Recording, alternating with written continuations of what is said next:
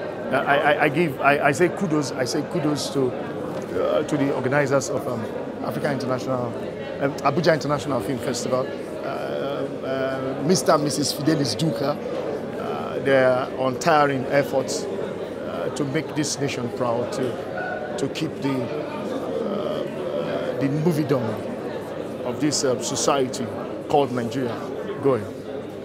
but um, it's a little bit disappointing when um, you don't see the people who are uh, the crop of Nollywood coming out, the actors of Nollywood, the people the likes of um, produ- uh, uh, uh Fidelis and other producers and directors made. Uh, as we speak, the London International Film Festival is going on, and I know all the all the superstars in UK, they are there in the festival. I'm not seeing our stars here. If it comes to running to Toronto Film Festival, you see them. If it comes to going to Cannes, you see them. If it comes to where are those government people who went to these places, parading these guys there? Why have we not been able to defend our own? That is why it's annoying to me. This is this is for us by us. You see the average artists pronouncing names of streets outside the shores of this country. They don't pronounce our own, they don't know our own. What will they post for? Whenever, whenever we defend our territory, we go do white mountain.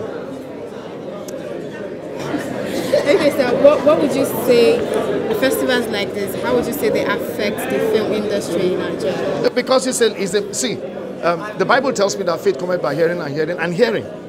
So festivals like this exposes um, new technology, brings in new investors. It's a learning field. It's a ground that gives birth. It's a ground of new discovery. As I yesterday, we had the women in, in film here. We had so many things. We had the problems they had. We discussed it. It became a mutual thing. I saw some stars yesterday. I saw some new people yesterday. I know some, there are some directors, somebody like um, Sam Azubike, I knew somewhere he did an auditioning. We discover things here. I should be able to.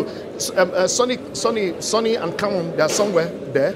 Uh, I, I know they were doing health um, uh, checks somewhere, and I, somebody a report came to me yesterday that one of um, the old hands uh, didn't know his uh, BP was up. These are things that happens. It's a once, a once, once in a year gathering of egos, of icons coming together to let go what um, experiences they've had that is, we gain. There's, there's so much gain. But you know, you see this new generation of a crop of a superstars. Let me use that word. They want to live on an island on their own.